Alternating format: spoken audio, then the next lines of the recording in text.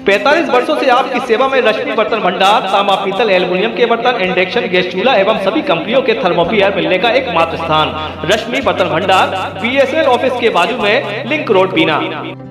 ग्राम पंचायत ग्रोल में school boundary wall का लोकार्पण करने पहुँची विधायक निर्मला सप्रे, सरपंच सहित कई कार्यकर्ताओं ने कांग्रेस की भी सदस्यता।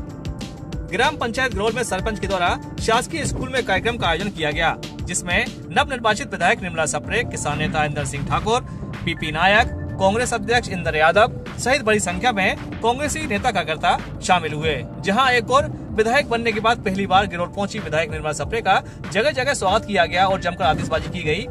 विधायक ने कार्यकर्ताओं के साथ गाँव का दौरा कर लोगों का आभार व्यक्त किया। वहीं विधायक ने स्कूल की बाउंड्री वॉल का लोकार्पण किया। साथ ही कार्यक्रम में सरपंच, एडवोकेट हरगोविंद कुर्मी ने अपने कार्यकर्ताओं के साथ भाजपा की सदस्यता छोड़कर कांग्रेस का दामन थाम लिया। आज जो कि स्कूल की नव नव जो बाउंड्री वाल है, उसका लोकार्पण है। और कांग्रेस का चूँकि उत्साह बहुत है, पिछले कई वर्षों से यहाँ पर कांग्रेस नहीं है तो जगह जगह हमारे कांग्रेस के कार्यकर्ताओं ने स्वागत रखा है। साथ ही, बहुत सारे ऐसे लोग हैं जो कांग्रेस विचारधारा से जुड़ना चाहते थे, लेकिन चूँकि सरकार नहीं थी और सरकार तो अब भी नहीं है, लेकिन विधायक नहीं था या किसी कारणवश नहीं आ पाए, लेकिन मन में था कि कांग्रेस से हम कैसे जुड़ें। आज करीब 15 से 20 सरपंच भारतीय जनता पार्टी को छोड़कर कांग्रेस में शामिल हो रहे हैं। उनके साथ सैकड़ों की संख्या में कांग्रेस में शामिल हो रहे हैं हमारे सब लोग हैं, जिसमें इन सबका नेतृत्व कर रहे हैं हमारे हरगोविंद, जो कि सरपंच हैं अभी वर्तमान में यहाँ पर गरौल से। तो इनके नेतृत्व में 15 से 20 सरपंच वो कांग्रेस की सदस्यता लेंगे और सैकड़ों कार्यकर्ता भाजपा छोड़कर मैं एडवोकेट हरगोंद कुर्मी, गिरोल सरपंच, और यहाँ बाउंड्री वाल का निर्माण होना है, होना था। इसलिए मैंने नवनिर्वाचित विधायक हमारे लोकप्रिय